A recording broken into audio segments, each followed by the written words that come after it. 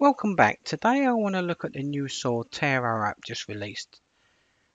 Now this enables you to share your sources between different medias. So for example, I'm currently on the iPhone and I'm now syncing with my Zotero 6 on my PC. But you can do the same with a Mac or an Android phone and vice versa. Before you make a start, the app's free. You get 300 megabytes free to sync your sources between media but after that, then you need to pay. But it's not a lot anyway. And if you're doing a four-year degree, it could be really beneficial. In this case, I'm going to my PC. You can do this on the Mac as well. Edit, Preferences. Just make sure you're in the sync option and just make sure you sign up. Underneath here will be create free account option. Then once you sign in, click OK. Now you can come to your phone and download the app. And then type in Zotero for me at the top. And there it is. Already installed obviously on my iPhone and select to download. It's completely free. Once downloaded, open it up. When I come back out of there, go top right hand corner. All you'll see is my library. The top right hand corner and then you can add your account at the top. So obviously the same details you just filled in on your PC or Mac and close. Now let's have a look. I'm going to open up my library. Now if you look at my app on my phone on the right, and then my Zotero 6 on my PC, you can see the folders are identical. Health and two subfolders, heart and lungs. Now this syncs automatically as you use it, so any sources you find via your PC or Mac will sync to your app and vice versa. So it's great for doing research when you're out and about with your app and then at home you can do research with your Zotero 6 on your Mac or PC. So if I come to my option here, lungs, as you can see, I've got one website in there and you can see the source information on the right. So if I double tap it, it will bring up that website for me. So I can do the same now on my app. So I'm going to open up Lungs, open it up, and there's the website that I can access as well and close. There's another quick option I want to use on this. I'm going to open it up on the app. Say you are reading a source. I've got the NHS source here. And you find something you want to use. I'm going to highlight it. I'm going to copy it and then close it. Now I've got the source already in Zotero, but if I set the little I information on the right, and then I come to the top right hand corner and select the edit button, I can scroll down and you can see I've got an option which says add note. Add a note and I could paste that in there, the information that I might want to use at a later date. And again, you've got all your options in there to highlight here if you wish as well. And click done and click Save. Click OK, you're happy to save it and come out of there. Now what I'm going to do is go to my Zotero 6 on my PC. I've got the option there as well, but now watch, if I select Notes, and there's a note I've added as well. So I've synced it straight across. And you can actually see on the app where I've actually added a note here as well. That's my first option. Now what we'll do is come out of the app I'm going to open up Google Scholar and do a bit of research. I typed in COPD for the lungs option. Uh, scroll down. I'm going to click on this link here. And if I scroll down, this gives me a source there and a PDF at the bottom. So to tap into this. So I might want to use this. Click at the bottom, depending on what phone you're on, and send it to your app. So I'm going to send it to Zotero. And then I'm going to choose the lung folder which is already on. I'm also going to choose an item. Quality of life in the COPD patients. Tap on it. And at the bottom there you can even add a tag. Now this is really important. Bottom left hand corner here, whatever tags you add there will display down here so you can access that source later because you might be looking for specific sources.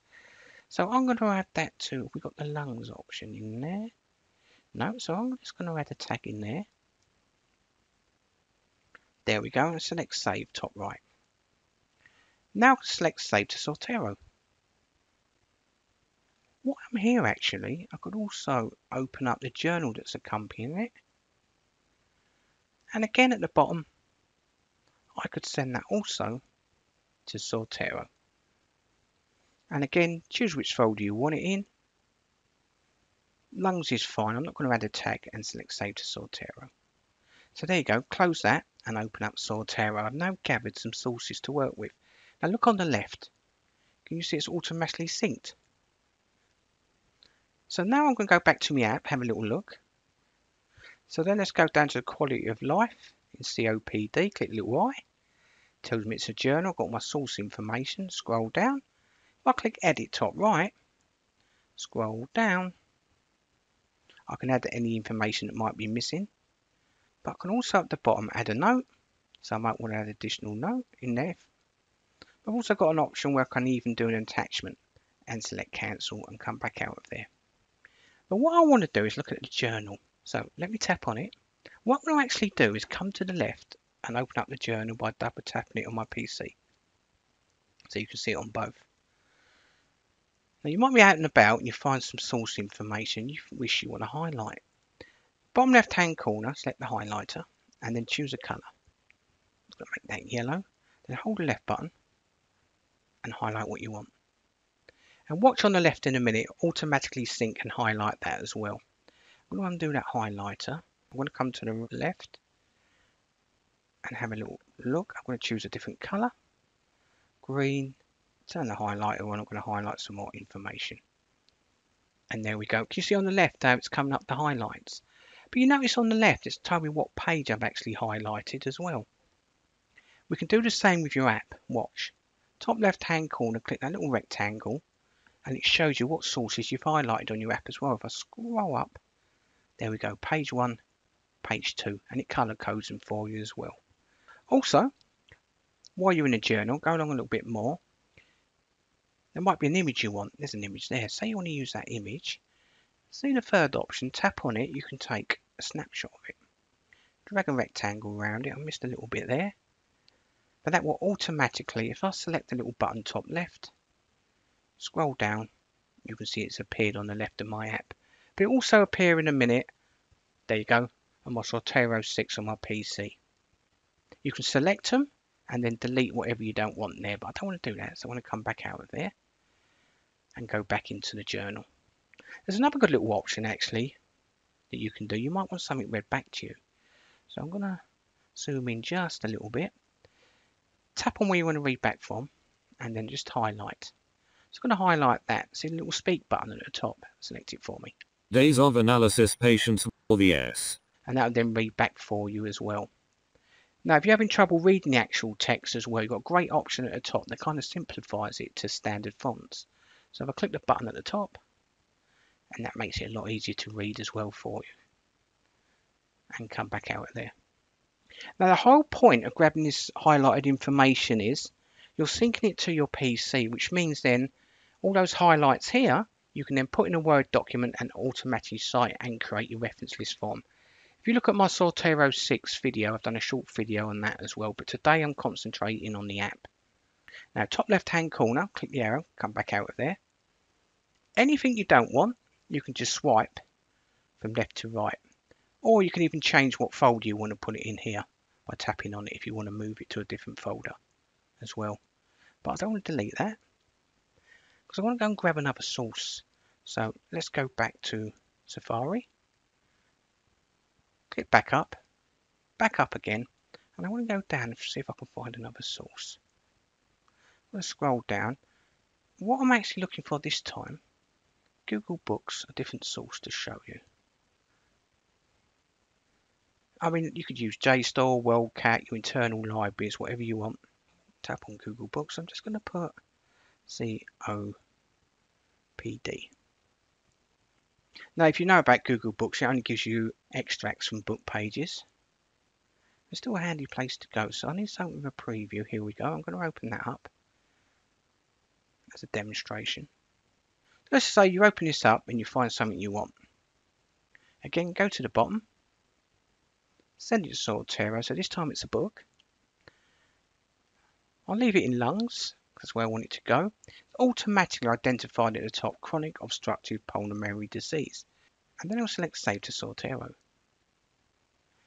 Close it, and let's see what it's grabbed. There it is. And I know it's a book because it's dark blue. You can see the image that indicates it's a book. Open it up I've got all the source information and the abstract for that book. And if I come to the left, close that PDF, you see I've also got that book there as well. Click info and all the source information. So again, what we could do at the bottom, we've got the tag already. Now this is really important. Look bottom left hand corner on Zotero 6 on your PC. You can tap on it, those tags that I said about earlier, and access sources quickly and efficiently when you're looking for them at a later date.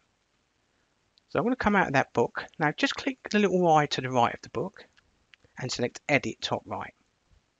Again, scroll down.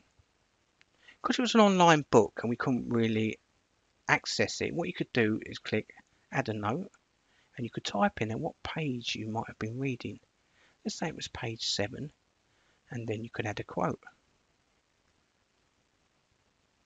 So you've got it all stored and select done at the top and save. Click OK.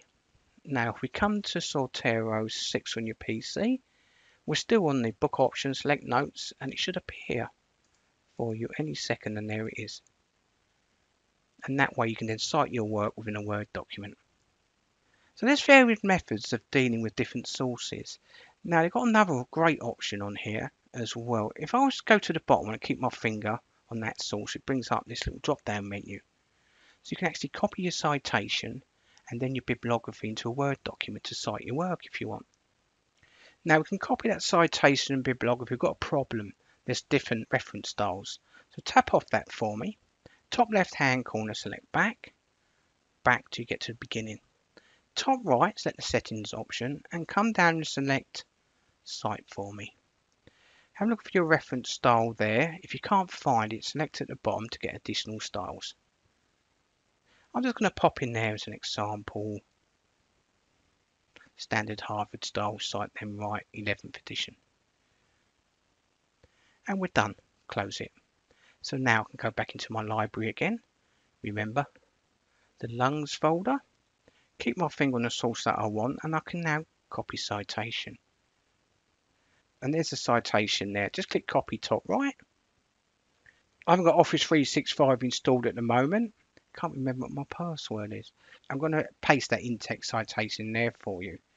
And then when you're citing your work, you can go back to Zotero and remember, keep your finger on it and then you can copy the bibliography now. And you can paste that into your Word document. So I'll open up the note again.